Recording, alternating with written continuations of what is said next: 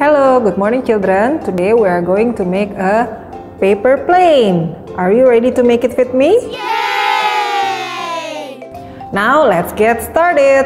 All you need is only a piece of paper.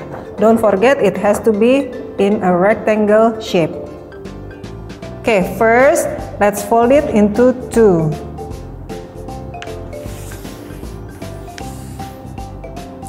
After that, unfold.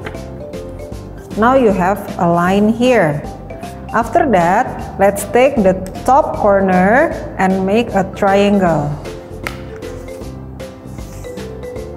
Let's do it for both sides.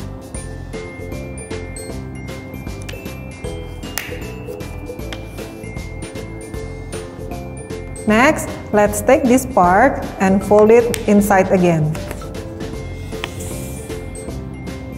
Do it for the other side.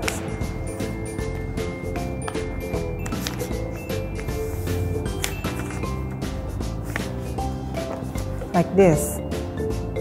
Have you got like this? Now let's close.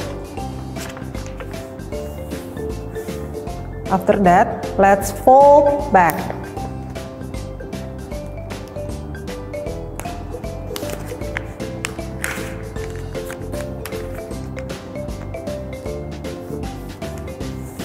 Let's do it on the other side.